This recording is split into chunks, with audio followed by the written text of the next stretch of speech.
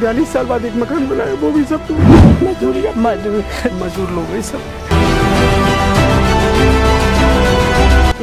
तीन सौ साढ़े तीन सौ परिवार इधर ही है। मोहल्ले में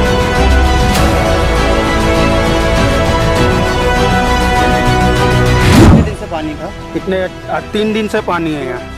के लिए तेईस साल पहले जो था वो वो तेईस साल वाले रह आज तेईस साल जीवन के खत्म हो गए हैं। यहाँ का मेयर है विनोद अग्रवाल वो अभी तक यहाँ आया नहीं है जैसा कि हम आपको लगातार जो मथुरा और वृंदावन की तस्वीरें दिखा रहे हैं अभी फ़िलहाल हम मथुरा में हैं वार्ड नंबर चार में मथुरा में हैं आप मेरे आसपास जो इलाके देख सकते हैं, ये पूरी तरीके से बाढ़ प्रभावित हम इसको आप कह सकते हैं, क्योंकि यहाँ जो मकान है, वो छः छः सात सात फीट नीचे डूब चुके हैं और लोगों को अपने घरों से पलायन करने करना मजबूरी हो गया है और लोगों का सामान जो है, वो उनके घरों में ही बंद है और लोग कोई अपनी छत पे त्रिपाल लगा के गुजारा कर रहा है तो कोई पलायन करके दूसरी जगह जाकर अपने बच्चों और अपने परिवार को बचा रहा है। ये आप देख सकते हैं, पूरा जो इलाका है, ये वार्ड नंबर चार का है, यहाँ करीब, तकरीबन सात गाँव इस इलाके से जुड़ते हैं और ये जो इलाके में है लोग हैं ना, बाढ़ से पूरी तरीके से प्रभावित हैं। यहाँ आप देख सकते हैं पूरी तरफ़, चारों तरफ़ जो जलमग्न है, जो बाढ़ का पानी है, वो पूरी तरीके से घुस चुका है। ये गोपाल आश्रम यहाँ पर बताया जाता है अखाड़ा है, गोपाल अखाड़ा है, ये आप देख सकते हैं पूरी तरीके से ये पूरी तरीके से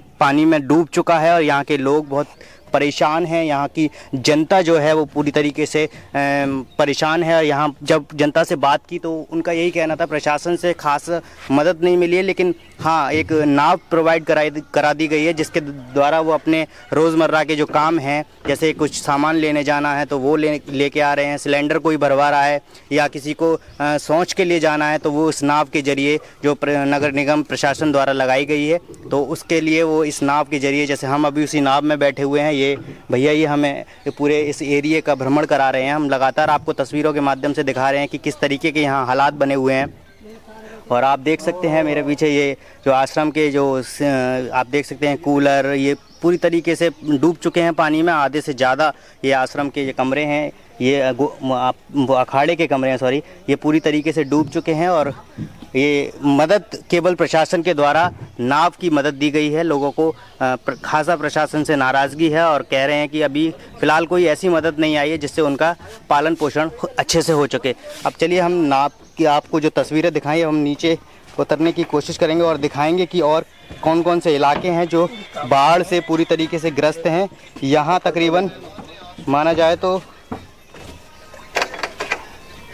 आराम से आराम से बेटा। आया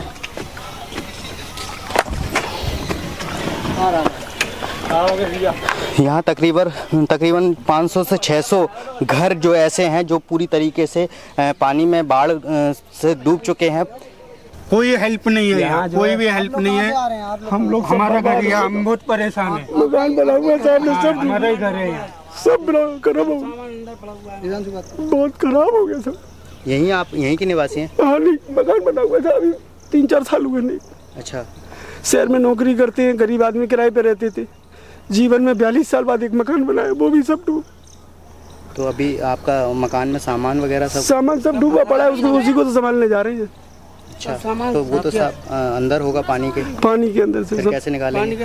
अब नाव के द्वारा जाएँगे जो जो अपने जो जो सुरक्षा है जो अपने बचाने लायक है उसको बचाएँगे। प्रशासन से कोई बात हुई आपकी? कोई प्रशासन नहीं कुछ सब बेकार की बातें प्रशासन कोई मदद नहीं कर रही है कोई- भी कुछ नहीं कर रहा है। गरीबों की वीडियो बनाने वाले लोग हैं यहाँ का यहाँ का मेयर है विनोद अग्रवाल वो अभी तक यहाँ आया नहीं है। कम से कम आने भी तो माँगता है यहाँ का एमएलए पार्षद है वो अभी तक कोई आया नहीं है यहाँ तक तकरीबन कितने परिवार ऐसे होंगे जो यहाँ हमारा भी है सर जी। अभी तो बहुत है बहुत है। तीन सौ साढ़े तीन सौ परिवार इधर ही है। मोहल्ले में आधे क्षेत्र में। हाँ। बाकी ऊपर के बाहर के तो सारे गाँव डूबे हुए हमारा पीछे भी काफ़ी हैं गाँव। हमारा ये सब सामान सब सामान क्या करते हैं आप? मजदूरी मजदूर मजदूर लोग हैं सब। हमारे साथ ही मकान बना हुआ है। नहीं अभी तहसीलदार साहब आए थे तो एनडीआरएफ की जैसे मैं देख पा रहा हूँ वहाँ टीमें भी कुछ लगा दी गई हैं। एनडीआरएफ एनडीआरएफ तो अभी आई है सर सुबह से। अच्छा इतने इत, कितने दिन से पानी था? कितने आ, तीन दिन से पानी है यहाँ। सोलह तारीख को सोलह तारीख से। सोलह तारीख को हम लोग यहाँ से पाँच बजे निकले थे तो घुटना इतना घोटू घोटू पानी था। जब घबरा गए जब बच्चे के परेशान न हो जाए तो बच्चों को निकाल के अपना बाहर किया। ये अंदाज़ा नहीं था इतना पानी भरा भरना है होता है यहाँ पे भरना होता तो हम पहले ही से यहाँ से खाली हो जाते। पहले पहले भी मथुरा में इस तरीके की बाढ़ कभी आई? 2010 दो में आई हज़ार थी दस में आई थी साहब मगर हमने ये क्षेत्र नहीं देखा था कि ये पानी यहाँ इतना भरता है। वहाँ अगर इतना भरता बंगाली घाट पे रहते थे तो हम हम जो है तो वहाँ की तब क्या स्थिति थी? अब ज़्यादा भयानक स्थिति है या तब ज़्यादा भयानक स्थिति थी? अभी ज़्यादा है। अभी ज़्यादा हाँ। पिछली बार से ज़्यादा पिछली बार से ज़्यादा है। नहीं है क्या कह रहे थे आप? कोई मदद नहीं है हमारा सब सामान फंसा कोई मदद नहीं है कोई एमएलए डूब गया पलंग पलंग सब। कोई मेयर नहीं। कुछ भी नहीं यहाँ है। कुछ बनने के लिए। तेईस साल पहले जो था वो के वो तेईस साल वाले रह गए। आज तेईस साल जीवन के खत्म हो गए हमारे। जो कुछ इकट्ठा करके इसको बनाया था वो सब खत्म हो गया। शासन प्रशासन की तरफ़ से कोई कुछ नहीं है कोई मदद नहीं है। अब ये बोला सामान निकालना है बाद में निकालना बाद में निकालना भी कह रहे थे हम उससे। यहाँ बोर्ड वाले को बोले सामान निकालो तो बोर्ड वाले दोनों कह रहे पहले खाना दिया जब निकालना अब पता नहीं कब कितनी देर में आएँगे और जब तक पानी पानी बढ़ गया तो हमारे सामने सब वैसे डूबा पूरा। हमारे पूरा सामान- तो सारा खराब हो गया अगर पानी में डूबे तो। सब खराब हो गया। सिलेंडर है खाने की है, सब सब खराब हो गया।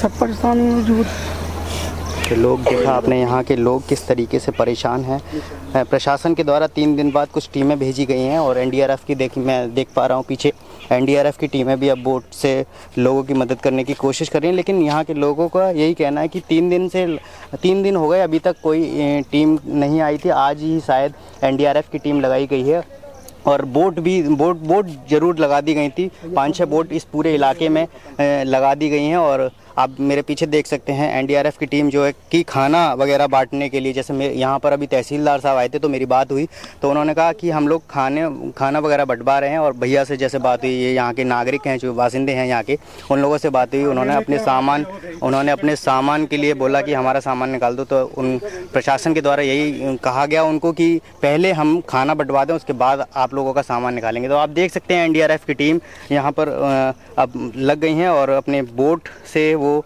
लोगों को जो संभव मदद हो सकती है, वो सरकार, प्रशासन, अपनी नगर निगम प्रशासन के द्वारा